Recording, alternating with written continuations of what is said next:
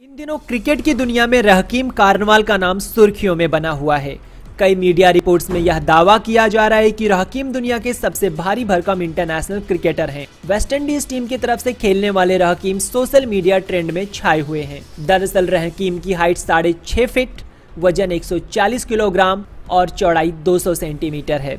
इस भारी भरकम शरीर और अच्छी खासी कद काठी वाले इस ऑलराउंडर को देखकर हर कोई हैरान है। रहकीम कार्नवाल ने वेस्ट इंडीज के घरेलू टूर्नामेंट से क्रिकेट खेलना शुरू किया और वेस्टइंडीज की टीम में जगह बनाने में कामयाब हुए। डोमेस्टिक क्रिकेट में वह लीवर्ड आइसलैंड की तरफ़ से खेलते थे। इंग्लैंड और West Indies cricket board president eleven की टीम के बीच अभ्यास मैच में रहकीम को देखकर हर कोई हैरान रह गया। उन्होंने इस मैच में शानदार प्रदर्शन करते हुए इकसठ गेंदों पर उनसठ रनों की पारी खेली। रहकीम राइट हैंड बैटिंग करने के साथ राइट हैंड ऑफ़ ब्रेक गेंदबाज भी हैं। कार्नवाल ने 25 फ़र्स्ट क्लास मैच खेले हैं और 46 पारियों में उन्होंने 23 के एवरेज से 1014 रन बनाए हैं। इतना ही नहीं, उन्होंने गेंदबाजी में भी अच्छा प्रदर्शन किया है।